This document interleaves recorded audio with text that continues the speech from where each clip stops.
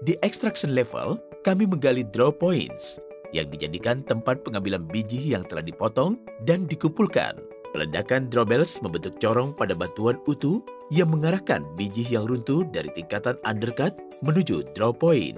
Selanjutnya, alat loader secara efisien menghimpun dan mengangkut biji ke jalur-jalur biji menuju saluran.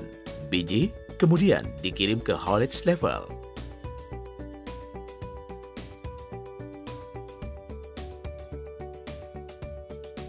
Pada haulage level, sistem angkutan kereta rel mutakhir ini bekerja secara otonom untuk mengumpulkan biji dan membawanya menuju salah satu dari tiga stasiun bongkar muat.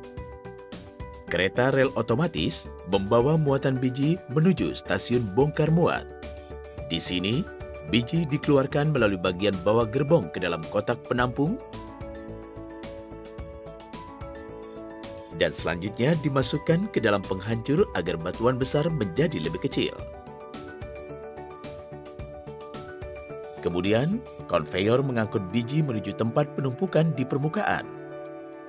Setelah memahami seluk-beluk proses pertambangan, mari kita ke permukaan untuk melihat ruang kendali.